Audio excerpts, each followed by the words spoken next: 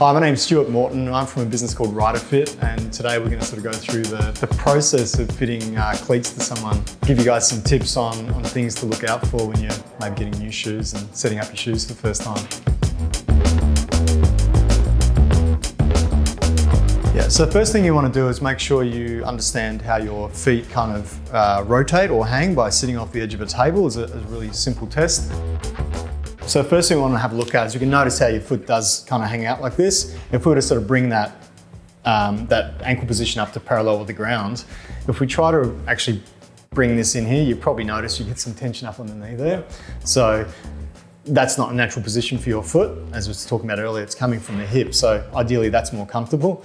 And that just, that guides us basically Now we can have float in that pedal system. We can go either way from there as opposed to having it jammed straight and then getting kind of stuck and not moving properly. In the end, if that's not set up right, it's the knee that's gonna get upset. Once you kind of understand the way that heel sits in or sits out or, or sits, the foot sits straight, that'll start to guide the, the float, the rotation of the cleat.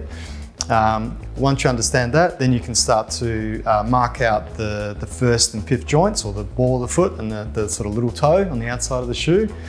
And essentially what we're trying to do there is get that spindle to, to sit in between those two points once we get you onto the bike.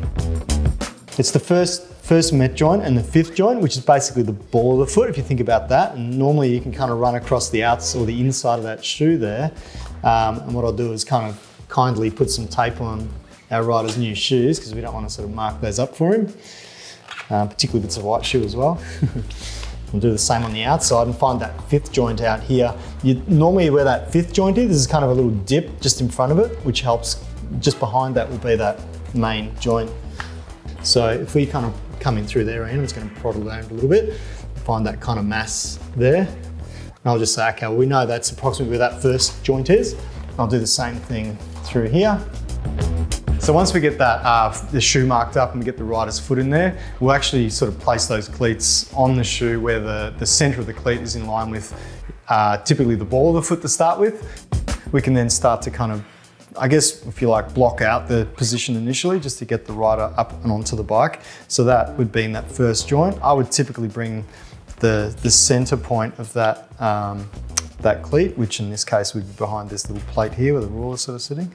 Um, we'll get that, that kind of locked away and, uh, and once we've got that position sort of set up from a fore aft, so you've got a, a fore and aft position or how far forward or back it is, You've also got rotation, which we kind of talked about earlier with the foot position.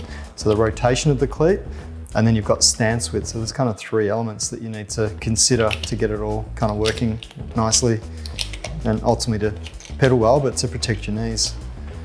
The good thing with, say, the Shimano cleat is we have the ability to put these onto a nice smooth flat edge. And from that there, we can then start to understand a bit about how the shoes are set up to begin with as far as um, rotation of the cleat goes.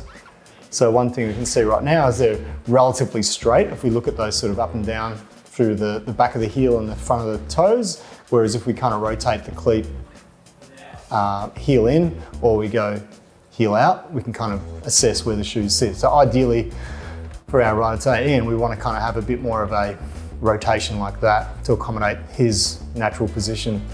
Then we'll get the rider onto the bike and actually physically check that. So I'll look at the, the position of the foot in reference to the spindle when I've got them on the bike, and then we'll make some more informed decisions as to whether we need to move that foot back or forward um, based on yeah, where we've got the, the shoe set up to start with.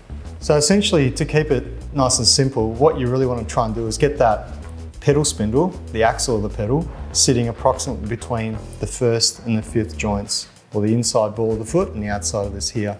So if you can imagine it kind of cutting through the middle of those two reference points, um, that will get you in a, a pretty good starting point um, when you're setting up some new shoes. And really once you, once you get pedaling from that point, the main thing is you just don't want to have any kind of tension at the knee joint. If there's any kind of pulling or, or, pushing at the knee, then perhaps you might just have to reassess that sort of float position again, um, whether it's a little bit more heel in or a little bit heel out, depending on where you've moved it to to start with.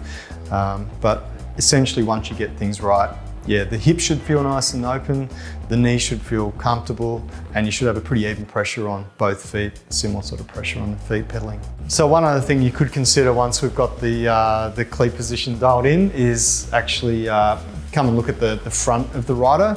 um, which we can tell quite a bit of a story as to how the knees are actually tracking. If we look at the hip, the kind of knee and the foot, and in reference to that line there, are the knees kind of diving in? Are they diving out? Are they kind of kicking out? Um, that can sort of start to come into those other aspects of cleat position, which is referencing um, the, uh, the stance width.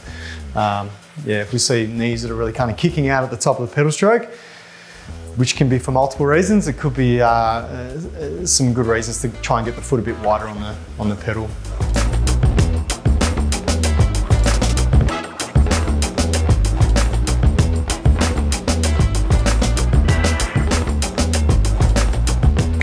I've done for a long time is just really quite simple, is essentially just mark out three points on that cleat. So you just kind of mark there, mark on this side, yeah, just kind of mark out those three positions. And there you've got, when you do take that cleat off um, to replace them at some point when they wear out, you've got a nice crisp line with the sort of paint pen, if you like, um, marking out those sort of positions. It's really simple, really effective, and it's easy.